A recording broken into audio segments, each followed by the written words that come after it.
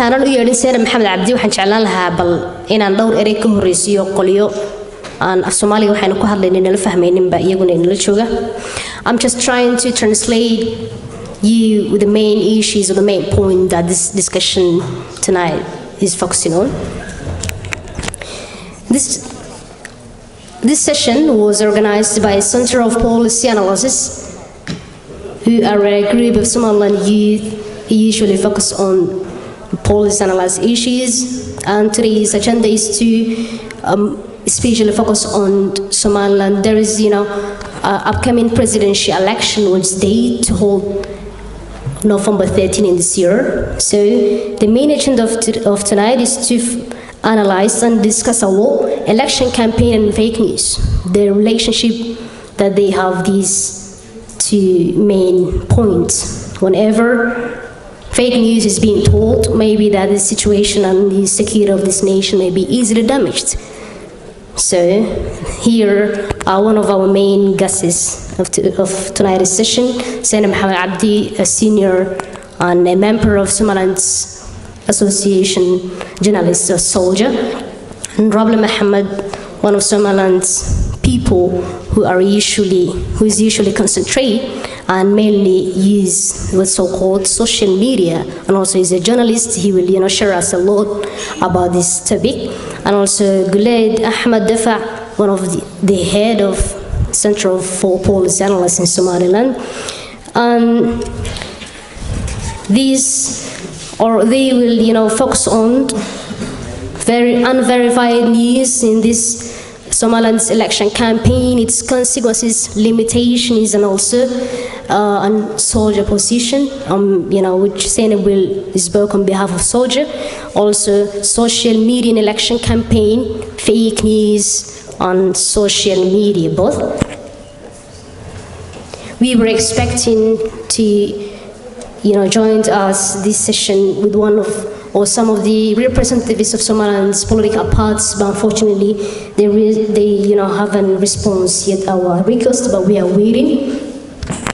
And at the end of this session, participants of this you know, session will ask the panel questions that they are you know, considering to be answered to, tonight in here.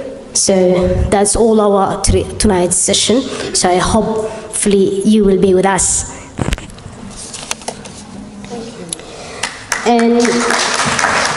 Aad baad mahadsantihiin mar kale mid kasta oo insha allah idinka mid ah waxaan siin doonaa shan iyo toban daqiiqo oo uu kaga hadli doono mowduuca loo qoondeeyey xubin ka tirsan ururka saxafiyiinta somalilan ee soldier saynab maxamed cabdi sidoo kalena sideedii sannadood ee u dambeysay ka mid ahayd hawlwadeenada wasaaradda warfaafinta somalilan radio hargeysa iyo t v qaranka labadaba.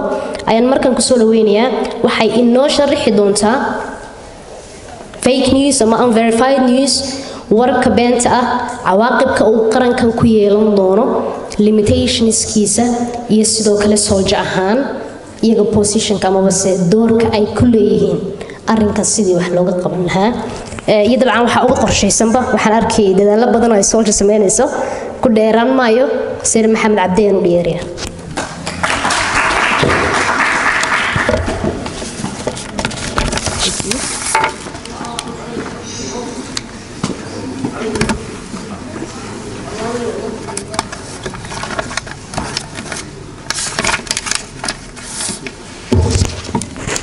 bismillaah asalaamu calaykum waraxmatullaahi wabarakaat eh, dhammaan marti sharafta qiimaha leh. Waxaan idinku salaamayaa salaanta islaamka.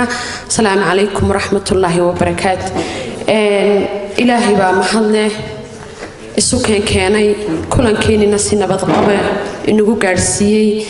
Marka labaad waxaan u mahad celinayaa gruubka soo agaasimay inaynu halkan iskugu nimaadno oo aynu ka hadalno qodob aad iyo aad u muhiima oo ah wararka been abuurka doorashadoo laga hordhaco warkeenna oo fiicnaan waaya caqabada uu ku keenayo qarankeenna iyo shakhsiyanba guleed oo ila soo xidhiidhay baan mar kale u mahad celinayaa. Xuquuqalisaanka somalilan anigu aad iyo aad guleed baan u wada shaqaynaa. Waxaan leeyahay guleed waad mahadsantay si shaqsiyana waad u dadaashay qarankaagana waxaad jeceshahay inaad meel gaadhsiiso. Waa hordhac aad baan ugu mahad celinayaa magacaygu waa sayine maxamed cabdi sidii laydin sheegay. Wasaaradda warfaafinta howlwadan ayaan ka ahaa muddooyinkii u dambeeyey. Ururka suxufiyiinta somalilan ee soorjana waxaan ka mid ahay guddidii ugu dambeysay ee la doortay kii kii bishii labayo tobanaad wakhtigooduna wuu iska dhadhow yahay. Muddadaa saddexda sannadooda hawshaynu caawa ka hadlaynaa naguma cusba ugubna annaga naguma aha. Intaaba waxaanu ka hadlaynay sidii loo heli lahaa saxaafad wanaagsan ama warbaahin wanaagsan. Way jiraan dad badan oo kudayasho mudan oo markooda horeba wanaagsanaa laakiin bili-aadankuma dhammaystirna inaan istoosino aan soo gundadego qodobkayga ugu horreeya waxaan jecelahay inaan ku soo qaato waa maxay warbaahini isu sharaxi mayno isu sheegi mayno inaynu t v iyo idaacad daawano inaynu joornaalo leenahay inaynu facebookna afar iyo labaatanka saacadood update ka nahay in badan oo inaga midina iyagoon wariyaal ahayn bay ula socdaan. Marxaladda dunida ee warbaahintu waxay soo martay marxalado adag oo kala duwan waxaanay leedahay traditional media iyo modern media dadka wax saadaaliya ama wax gorfeeya waxay sheegaan inay aad iyo aad u wanaagsaneed wakhtigii la isticmaalayay traditional media oo macnaheedu yahay wakhtigii idaacadaha oo quri ay shaqaynayeen iyo tifiyadu sababtuna waxa weeyaan dee in war la helaa idaacadu baynu ka maqlaynay. Mabay fogeynba kii? Meel kaloynu war ka helaa may jirin. Inaynu idaacad dhagaysano ayuunbaynu ka helinay. Warka qofka inoo soo gudbinayaana wuxuu ahaa wariye hebel oo laga yaqaano institutionka uu shaqeeyo ama t v hebel oo la yaqaano. Laakiin muddooyinkii u dambeeyey waxaynu aad u dareemaynaa in qof waliba uu mihnadii wariyanimada si shaqsiyana u galay. Waayo waxa uu isticmaalayaa facebookiisa waxa uu isticmaalayaa website waxa uu isticmaalayaa maxaa la yidhaahdaa twitter. Isaga ayaa si shakhsiyana isu abdhate garaynaya halkaa wararka kaala socodsiinaya. Haddaba saameyn intee leeg bay nagu keentay mid xun iyo mid wanaagsanba way nagu keentay. Haddaynu dhanka wanaagsan ka eegno subaxii markaynu soo toosno inteenna halkan fadhidaa waxaynu samaynaa markaynu saa u soo toosno quraacda iyo cadayga ma xasuusano ilaa aynu horta moobilkeennoyna ag yaallaa.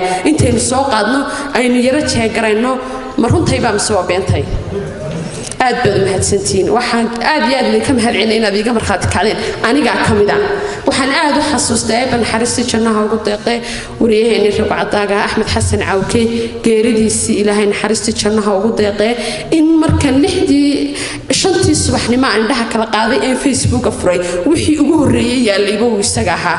Muddo waa rumaysan waayey laakiin axmed siciid cige ayaa daqiiqada kadib xaqiijiyey. Maan ogaadeen haddii aanan haysanin oo aanan markaana idaacad dhegaysanaynin waa dhanka wanaagsan. Waxaa kaloo jira war kasta oo dhaca degdeg baynu u helaa. Brosays badanna inagama maro. Waa dhanka wanaagsan. Laakiin maxaynu ku jabnay? Muxuu ku xumaaday? Aynu dhanka kala midhicsanno waxa uu saamayn badan ku yeeshay. Wararkii xaqiiqda ahaa. Warkii xaqiiqda ahaayoon ina soo gaadhin. Ayaa boqoliyo toban war oo aan wanaagsanayn. Ina soo gaadhaa oo qarankeenna dhib ku ah oo dumis ku ah. Waxa weeyaan waxaan soo qaadanayaa warqad muddooyinkii u dambeeyey facebooka laysla dhex marayay عداي عدالك وحن كهل يا قرن كسامين إنت لك بيكنا أيك يا لط وحن كهل يوسف كرات إنت وفيسبوك وبيتر ويرك كرتا. وحن بيج كيس وكسوق رايدتك وحن صار لك دولة ما انت الصومالية كشقي سامي كمية الجربة مسوى دولة رسمية. ميان يسوى حخرين waxa weeyaan innaga gudaheenna waxba maaha doorashaduna waa berri way iska dhammaan inta galaaska wada fadhida ee xisbiyada kala raacdayna markuu madaxweynuhu ilaahay inoo dooro inoo imaado waynu iska heshiin doonaa. Laakiin qarankeenna dhib intee leeg bay ku keenaysaa. Inaynu maalin walba inagoo dhallinyara aqoon-yahan ah aynu halkaa isku weydaarsano oo aynu waxaan qurux badnayno qarannimadeenna dumisku ah aynu halkaa kaga hadalno. Qof walba wuu qiimayn karaya wuu garanayaa. Waxaynu waxa inoo muhiima aynu tale ahaan kasta ugu soo jeedinaya. Dadkeenna waa dad wanaagsan waa dad horumarka jecel caadifadda iyo inaan raacin labada bilood ee ololaha.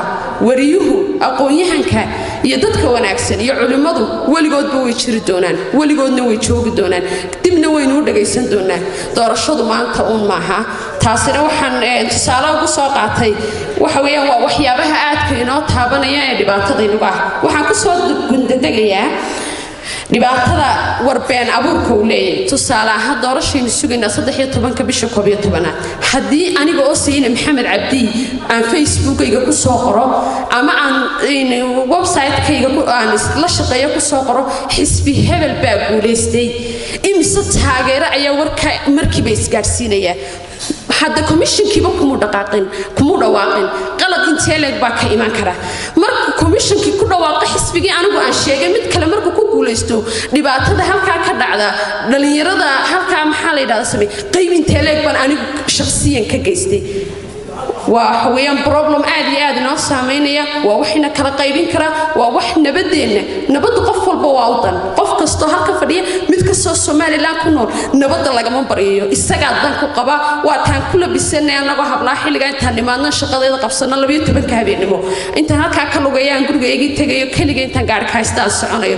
Meelaha qaar kama dhacda laakiin haddii lagu xamdi naqi waayo muwaadinnimadu ku taaban weydo.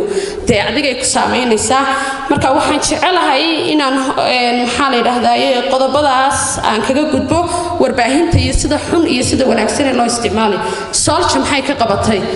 Muddadii doorashada iyo ka horba in la helo wariyo wanaagsan. Waxaan samaynay laba guddi oo ka shaqayn doona wakhtiga ololaha guddi waa guddi monitorinka ah.